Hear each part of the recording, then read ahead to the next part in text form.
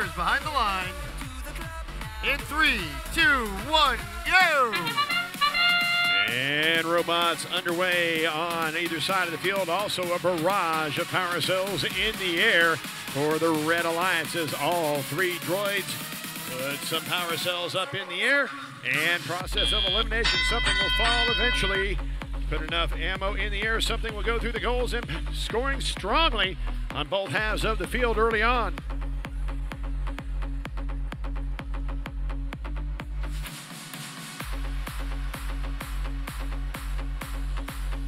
Teams now settling into their rhythm. 42-65 is getting some ammo from their human players as those power cells are filling up that droid.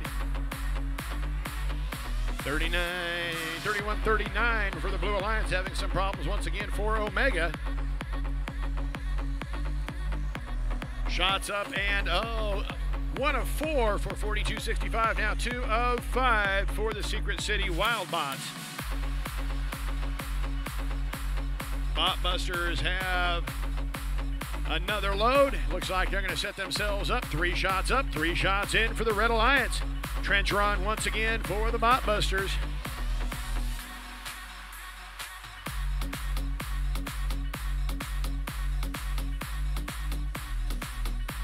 And two shots up out of three in for 30-39 as the Blue Alliance trying to make up some ground with Wildcat Robotics, but they've got a huge hole to climb out of. We are possibly looking at a high score of this match on our Red Alliance side of the field. Let's keep an eye on red as the Botbusters trying to get in position to claim some ammo from their human players. Power cells filling up the goal on the Red Alliance side of the field. 162 on the board so far, and we've not gotten to the end game yet. That'll happen now.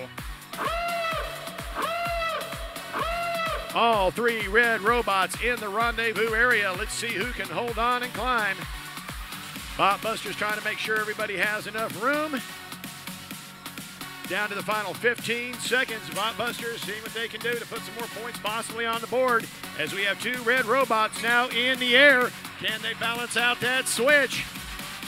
And it looks like the switch will be balanced for red as time expires.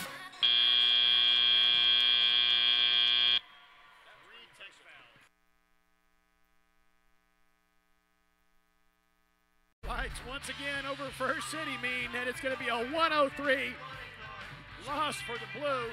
90 penalty points made a huge difference in this match. You have 229 for our winner. That is a new high score, but that is penalty assisted.